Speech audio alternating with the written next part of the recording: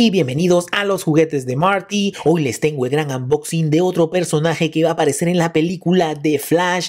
Este es el Batman de Michael Keaton, la versión sin la máscara, figura de McFarlane Toys. Y si no han visto el video de la otra versión de este Batman, ¿qué estás esperando? Vayan y chequenlo. Y de pasadita también suscríbanse a mi canal si no están suscritos. Entonces acá tenemos al Batman Michael Keaton de la película Flash. Esta es la versión Gold Label de McFarlane y ahí lo tenemos. Viene con los mismos accesorios que el otro Batman. Y entonces acá tenemos al Batman Michael Keaton sin su máscara. Esta es la versión Gold Label de McFarlane. Esta figura y viene con los mismos accesorios que la otra figura. Ahí está el tremendo logo de Flash. Batman Multiverse de Flash. Acá tenemos un arte que está muy chévere y es distinto al de la otra caja. Y si se ve muy bacano este arte. Y acá está la gran figura. Y como podemos apreciar, yo creo que este esculpido sí se parece ahí al actor Michael Keaton. Y otra cosa que esta figura tiene es su tremenda capa de tela. Entonces vamos a sacar al tremendo Batman. A ver. Y ahí está la capita de tela. Yo creo que lo veo bien, más se parece a Val Kilmer. Entonces esta figura, como les dije, tiene ahí su tarjeta trading card, su parador entonces vamos a liberarlo de su prisión de plástico. Y entonces acá tenemos al tremendo Batman Michael Keaton, la versión que vamos a ver en la película de Flash, figura Gold Label. Entonces vamos a ver acá lo principal que es ese esculpido del rostro y no es perfecto, pero sí tiene un aire al actor. Sí lo puedo reconocer, sí tiene los rasgos, ahí especialmente en los ojos y la nariz. Obviamente que se debería ver mucho mayor pero sí se parece al actor.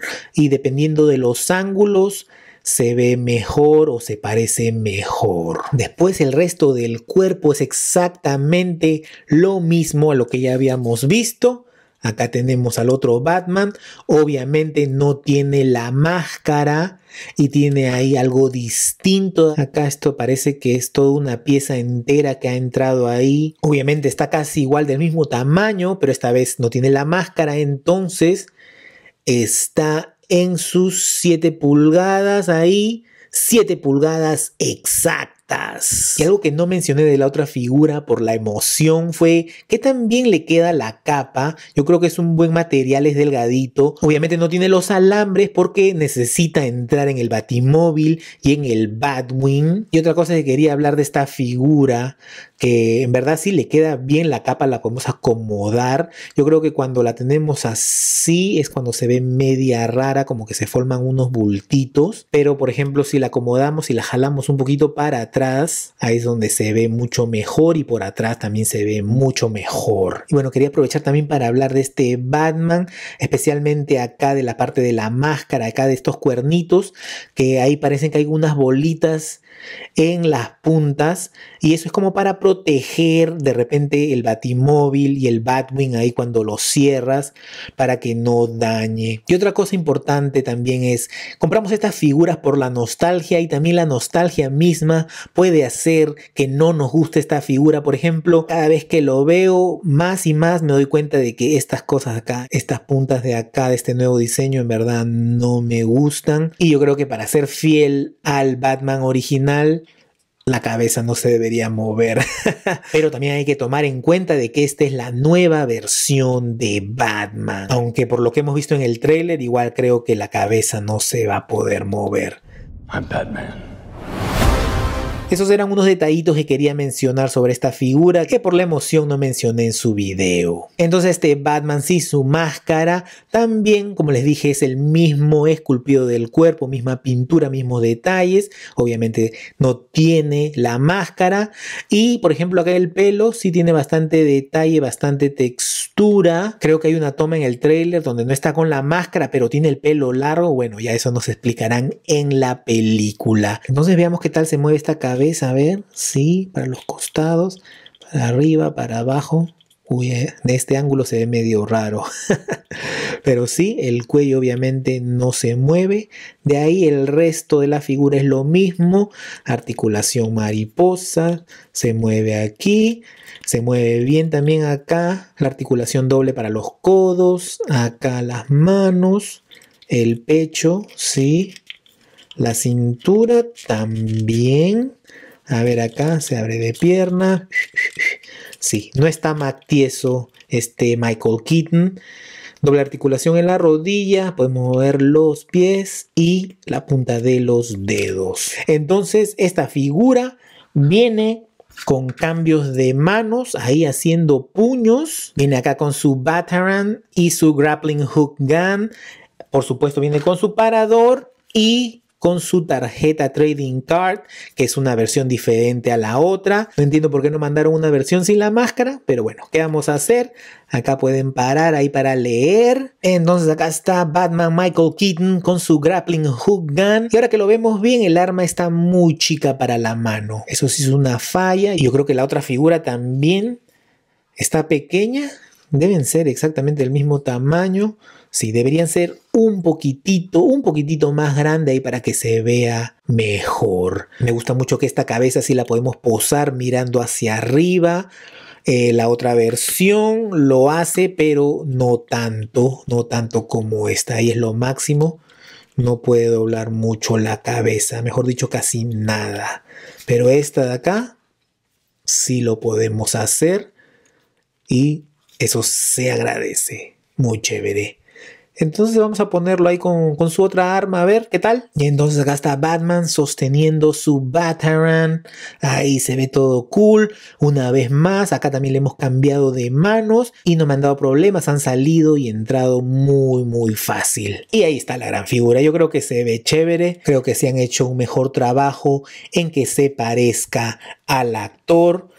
Comparado especialmente acá con esta versión Definitivamente este de acá no se parece mucho a Michael Keaton y acá por lo menos sí lo podemos reconocer, obviamente no es perfecto. Y algo que también mencionaron con respecto a los esculpidos es que de repente la gente de McFarlane Toys no tiene la licencia para usar los rostros comparado con Marvel que yo creo el 90% de las figuras tienen buenos esculpidos y se parecen a los actores y estoy seguro que la gente de McFarlane Toys tiene acceso a la tecnología que tiene la gente de Marvel Legends entonces no deberían tener problemas para crear el parecido en los actores y parece que no porque en este caso sí han hecho mejor trabajo. Y entonces acá tenemos al Batman Michael Keaton sin su máscara, la versión de la película de Flash, figura de McFarlane Toys Gold Label y la tenemos al lado de otros personajes de otros universos, otras franquicias, otras marcas. A la mano derecha lo tenemos al lado de Robocop,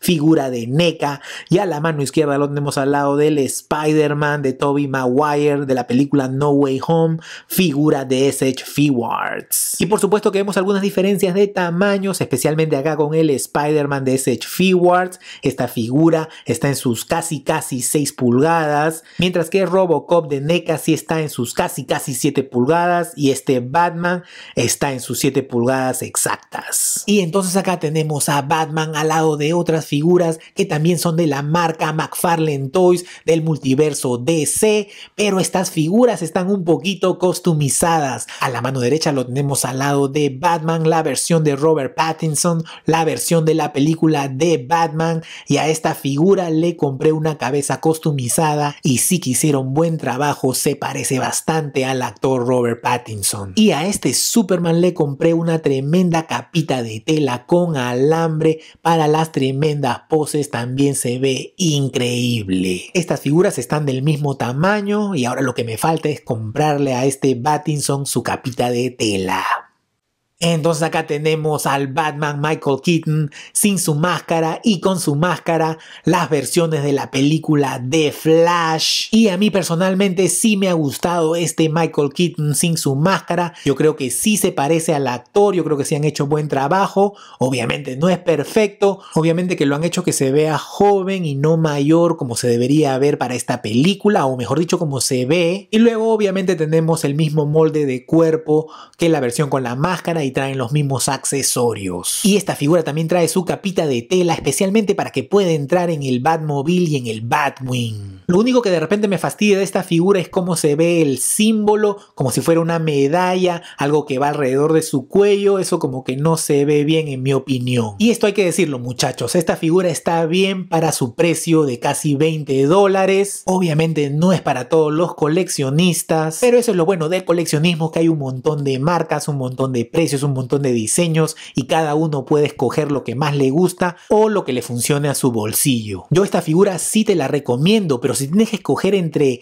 esta versión o la versión con la máscara, de repente deberías comprar la versión con la máscara, es la versión icónica, es la versión como reconocemos a Batman y por supuesto que también está bien chévere. Entonces, bueno, no se olviden de suscribirse si no están suscritos, de comentar, de darle like. Acuérdense, estos son los juguetes de Marty. Yo soy Diego, no soy Marty. Hasta la próxima.